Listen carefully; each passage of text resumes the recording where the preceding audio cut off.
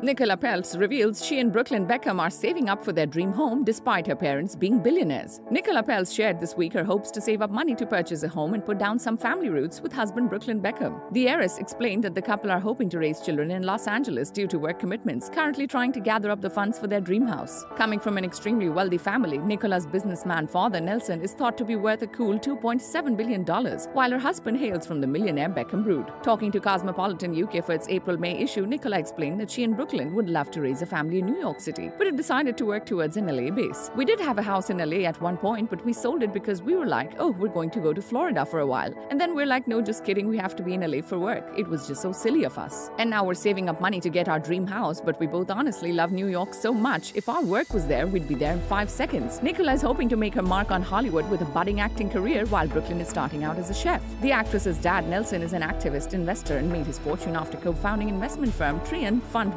Management. Brooklyn is the eldest son to former footballer David and singer turned designer Victoria, who have a reported net worth of $450 million. Subscribe to our channel for the latest on your favorite celebrities. Like, comment, and share, and don't forget to press the bell icon for notifications.